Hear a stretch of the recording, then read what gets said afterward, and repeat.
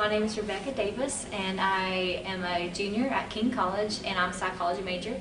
My research was as age increases, does the importance of looks for potential partner decrease? Um, I found that the older adults um, really have um, a higher view of themselves attractively. Like they believe themselves, they agreed that they were good looking, whereas my younger group believed they were uncertain whether they were good looking or not, is what I found.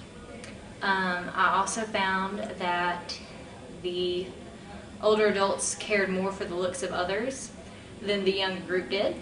And future things could do, like does the media influence the younger people or not? So that's what I found. What was the biggest surprise of your study?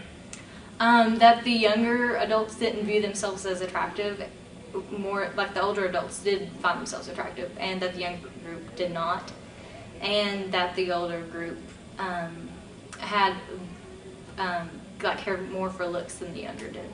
Is there a particular age when that changes?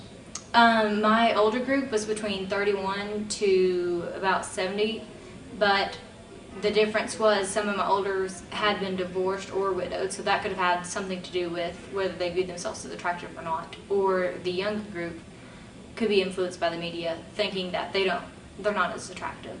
But the older group isn't as influenced by the media, so maybe they really have no basis for saying they believe themselves as attractive or unattractive.